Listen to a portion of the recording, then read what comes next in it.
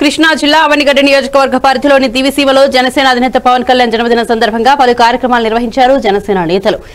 కోడూరు మండల పరిధిలోని కొత్తపాలెం గ్రామం వద్ద ఆవనిగడ్డ కోడూరు ప్రధాన రహదారి అధ్వాన స్థితిపై జనసేన నేతలు వినూత్న కార్యక్రమాన్ని నిర్వహించారు.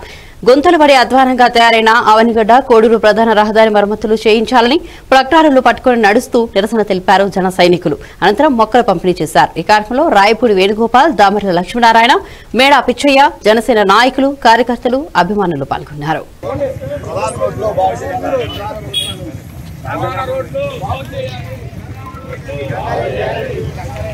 బాగు చేయాలి రోడ్లు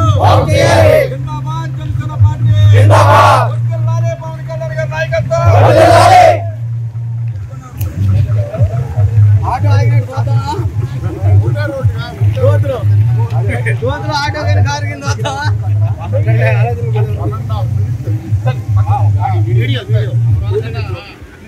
చూపించాలి